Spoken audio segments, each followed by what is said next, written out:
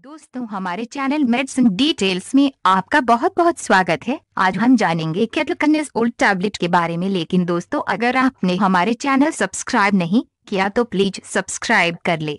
और बगल में जो बेल आइकन है, उस पर प्लीज़ क्लिक कर दीजिए, ताकि हमारे आगे आने वाले सभी वीडियो सबसे पहले आप तक पहुँच सके। केटलकनिस ओल्ड टैबलेट का उपयोग मुख्यतः फंगल इन्फेक्शन से बचाव में किया जाता है। केटोकनल्स ओल्ड टैबलेट 200 मिलीग्राम की क्षमता में उपलब्ध है। आइए इस ड्रग के बारे में और अधिक विस्तार से जानते हैं कि ये कहाँ इस्तेमाल होती है, कैसे काम करती है और इसके क्या साइड इफेक्ट्स होते हैं। आइए जानते हैं कि इस दवा का इस्तेमाल और किन किन समस्याओं के इलाज में किया जा सकता है।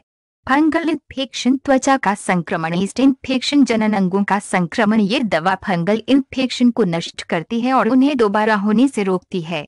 कीटोकोनाजोल टैबलेट का इस्तेमाल करने से आपको कई सारे साइड इफ़ेक्ट हो सकते हैं, लेकिन ये साइड इफेक्ट्स आपको हमेशा महसूस नहीं होंगे।